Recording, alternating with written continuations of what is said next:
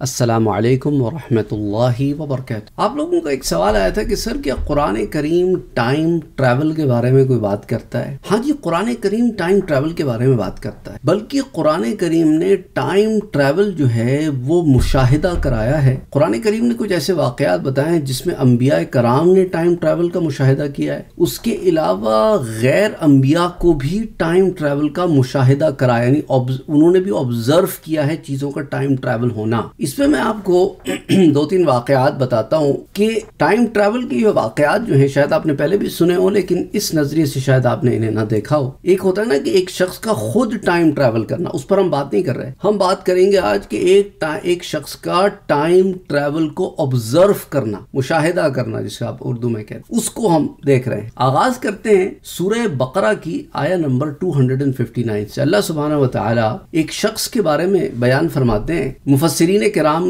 इसी तरफ़ गए हैं कि ये शख्स अल्लाह के नबी हज़रत उजैर सलाम है। अल्लाह फरमाता है कि औ कल्लदी मर्रा करियत, कि एक शख्स का गुजर एक बस्ती पर से हुआ। वहिया खावियत अला और वो बस्ती तबाह बर्बाद हो चुकी थी कि उसकी अपनी छतों पर गिरी हुई थी, यानी बिल्कुल तबाह बर्बाद हो गई। तो उस शख्स ने कहा कि बड़े ताज्जुब से कि अल्लाह इस बस्ती वालों को मरने के बाद कैसे ज़िंदा करेगा। ताज्जुब से ये नहीं कि यकीन नहीं था, यकीन था, लेकिन एक ताज्जुब का इजहार तो अल्लाह सुबहाना व तआला ने सौ बरस तक उस शख्स पर मौत तारी कर दी।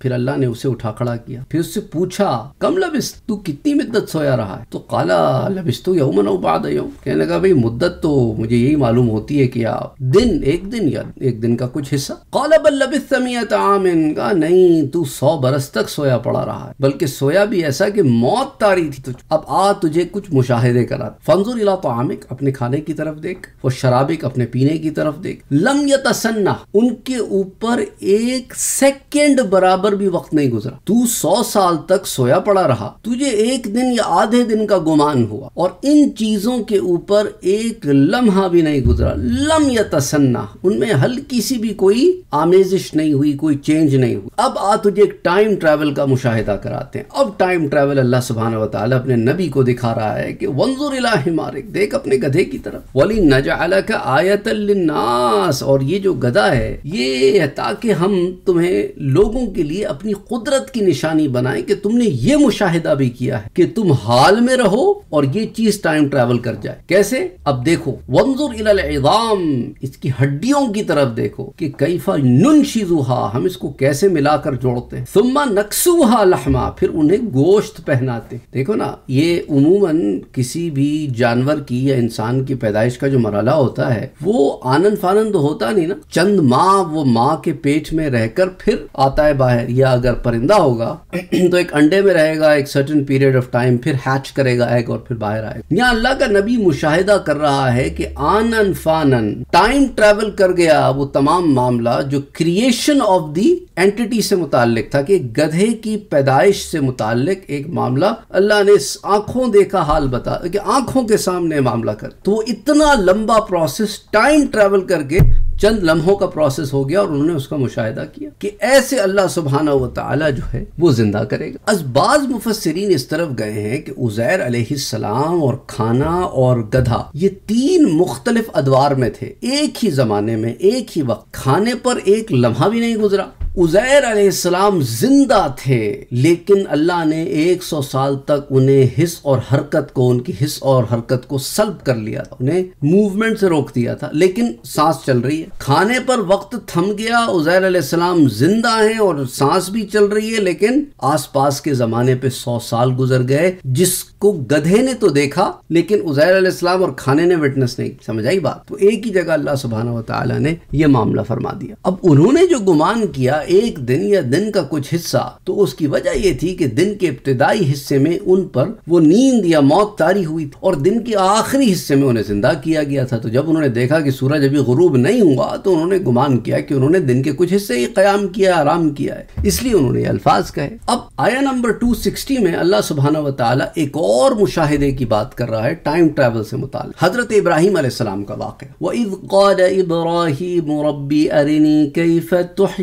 ना ऊँचा और याद करें, जब इब्राहिम ने कहा गया है मेरे रब, मुझे दिखा तू मुर्दों को किस तरह ज़िंदा करेगा। ये नहीं कि उन्हें इसके ऊपर कोई शक था, बल्कि वो उसका मुशाहिदा करना चाहते थे। तो अल्लाह ने कहा कि, अवलम तोमिन, क्या तू यकीन नहीं रखता? खाला बला, मेरे रब, मैं बिल्कुल यकीन रखता हूँ। वला यतमा इन्ना मगर ताकि मेरा दिल मुतमिन हो। यानी तेरी कुदरत का ये मुशाहिदा करूँ तो तेरी मारिफत बढ़ेगी। मैं तो आरिफ हूँ, तेरी मारिफत चाहता हूँ। और ये जो गुफ्त शनीद है ना, ये बातचीत जो है, ये खलील्लाह को तो जेब देती है, क्योंकि वो उस मुकाम पर है कि अपने रब से ये कलाम कर सकते हैं, इस मुकाम का कलाम कर सकते तो अल्लाह ने कहा अच्छा ठीक है इब्राहिम, तू खलील्लाह है, तेरे इतमान के लिए, कि दिल के इतमान के लिए, तेरे मुशाहिदे के लिए, ऐसा कर, फखुद अरबातम मिन तैर चार परिंदे ले ले, फसुरहुन्ना, उनको ऐसा कर, ट्रेन कर, मुख्तलिफ़ आवाजों पर, मुख्तलिफ़ तरीके से उनको खुद से मानूस कर, कि वो, तू आवाज़ लगाए तो वो परिंदा आए, चार परिंदे हो, हर एक का सुर हो, उसके बाद सुम मजाल अला कुल्ली जबल मिनहुन्ना जुजा फिर क्या कर कि जब वो तेरे से ट्रेन हो जाए, हिल जाए, मिल जाए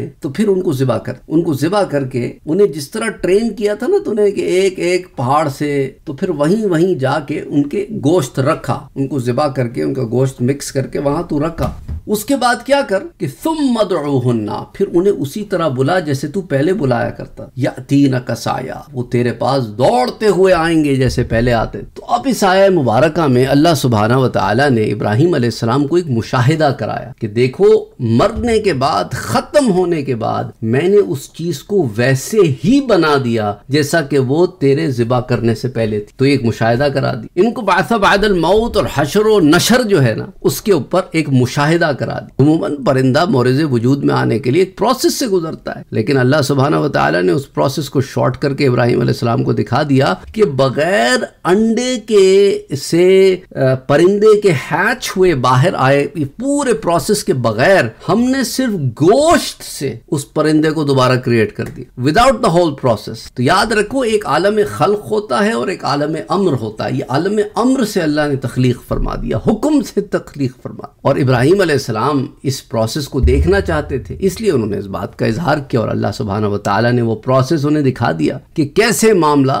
मोरज वजूद में आएगा how things will be created अब वो चार परिंदे कौन से थे? इसमें फिर उलमा के मुख्तलिफ़ अकवाल हैं, हज़रत मुजाहिद जो मशहूर ताबई हैं, हज़रत अब्दुल्ला इबन अब्बास के शागिर्द हैं। जाम बयान की जिल्द नंबर तीन सफ़ा पैंतीस पर आता है कि हज़रत मुजाहिद रहमत फरमाते हैं कि चार परिंदे मुर्ग, मोर कौवा और कबूतर। अल्लामा बेदावी ने लिखा है कि बाज रिवायात में कबूतर के बजाय गिद्ध का ज़िक्र है लेकिन बाकी तीन जानवर वही हैं और इसमें इशारा यह है कि नफ्स इंसानी को हयात अबदिया उस वक्त हासिल होगी जब वो अपनी शहवात और हुसन ज़बाइश को ज़िबा कर कि जानवरों को अपने से हिला जुलाने के बाद फिर खत कत्ल किया और उसके बाद उन्हें उनके मुकाम पर छोड़ा लेकिन ये एक मुशाहिदा था जो अल्लाह सुबहाना तला ने अपने नबी को दिखाया ये भी टाइम ट्रेवल की एक एग्ज़ाम्पल इसी तरह टाइम ट्रेवल की एक और एग्ज़ाम्पल आती है सूर्य आली इमरान में आया नंबर फोर्टी नाइन जिसमें अल्लाह सुबहाना व ताला ईसा सलाम का ज़िक्र फरमाता है कि वो रसूल नीला बनी इसराइल, वो बनी इसराइल की तरफ़ भेजे गए। और उन्होंने बनी इसराइल से कहा कि अन्नी कद तुकुम भी आयतिन I have come to you with sign from your lord मैं तुम्हारे रब की तरफ़ से निशानियाँ लेके आया हूँ। क्या निशानी की अन्नी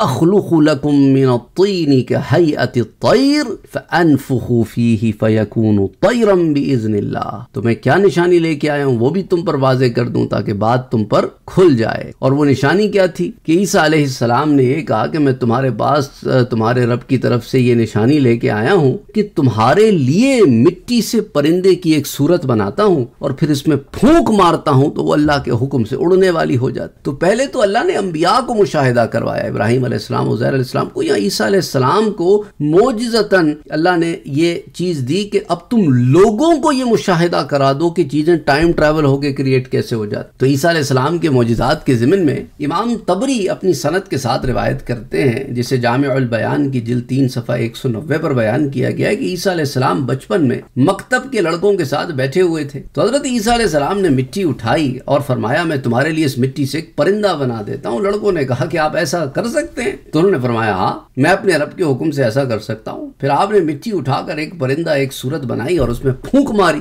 फिर फरमाया, तू अल्लाह के इज्न से उड़ने वाला हो जा। उनके हाथों से निकल कर उड़ने लगा। लोगों ने जाकर अपने टीचर को, मुअल्लिम को इस वाक़े का ज़िक्र किया तो उन्होंने लोगों में खबर फैला दी। लोग इससे खौफजदा हो गए और बनु इसराइल ने इनको कत्ल करने का इरादा किया। जब उनकी माँ हज़रत मरियम को इनकी जान का खौफ हुआ तो इनको लेकर इस शहर से चली गई। और ये भी आता है कि जब ईसा ने परिंदा बनाने का इरादा किया तो उन्होंने पूछा, कौन सा परिंदा? बनाना मुश्किल है। तो लोगों ने कहा चिमकार्डर चिमकार्डर ये चिमगार्डर जो होता है ना, ये बैट जिसको आप कहते हो, ये बना दो, ये बड़ा मुश्किल परिंदा है। तो आप चेकिन चिमगार्डर जो है, उसके बैट जो होता है ना, वो बड़ा अलग किस्म का परिंदा है। अगर आप गौर करें ना, वो ग्लाइड करता है। चिमगार्डर ग्लाइड करता है, उसके फेदर नहीं होते, लेकिन फिर भी वो उड़ता है। बगैर फेदर का उड़ता है। अच्छा परिंदा नुमा तो है, लोग उसे परिंदे समझते हैं, लेकिन दरअसल वो एक मैमल है। परिंदे उमन रेप्टाइल्स कंसिडर किए जाते हैं। लेकिन चिमगार्डर जो है, जो बैट जो है, वो मैमल है। उसके बच्चे जो हैं, वो अंडों से नहीं होते, वो बच्चे जनती है उसकी मादा। और उसकी मादा की छाती भी होती है, वो दूध भी पिलाती है अपने बच्चों को। तो उड़ने वाला एक मैमल है, इसलिए उन्होंने कहा कि कौन सी चीज़ बना दू? या परिंदों में सबसे मुश्किल परिंदा चिमगार्डर है। तो इमाम राज़ी जो मुतवफ़ी है छह सौ छह हिजरी के, वो लिखते हैं कि ईसा सलाम जो है, वो परिंदे की सिर्फ़ सूरत बनाते और इसका पुतला बनाते थे। और इनमें जान अल्लाह डालता था क्योंकि खालिक सिर्फ़ अल्लाह है। क्योंकि अल्लाह ने कुरान में फरमाया कि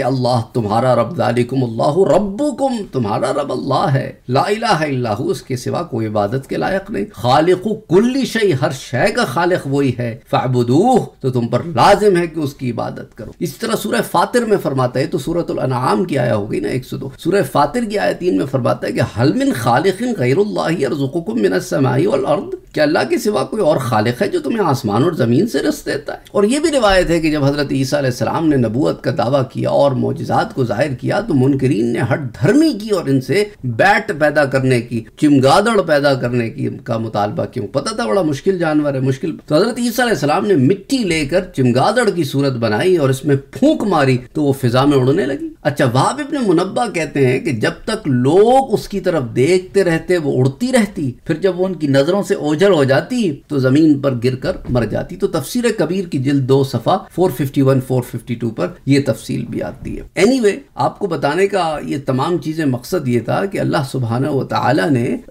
इंसानों को ये मुशाहिदा भी कराया कि चीज़ों को टाइम ट्रैवल में देखो कि without going through the whole process of creation कैसे हम चीज़ों को टाइम ट्रैवल करा देते हैं, तुम वहीं रहते हो, तुम्हारे लिए चंद लम्हे गुजरते हैं और उनका प्रोसेस फास्ट फॉरवर्ड हो जाता है। उनका नौ महीने, छह महीने, दो महीने, एक महीने का प्रोसेस चंद सेकंडों में तुम्हारे सामने मुशाहिदे में खड़ा करके निकाल दे। तो अब आप इससे अंदाज़ा करें कि देखिए, कुरान करीम जो है, वो इस नुक्ते पर भी बड़ी खूबसूरती से बात करता है और अम्बिया कराम के लिए मोजात हैं और आम इंसानों के लिए इसमें बड़ी निशानियाँ तो अम्बिया कराम के मोजात हैं और आम इंसानों के लिए इसमें बड़ी निशानियाँ हैं। बहरहाल उम्मीद करता हूँ कि इससे आपको बात समझ में आ गई होगी। असलम वरम work don't forget to like share comment and subscribe to Syed सात कादरी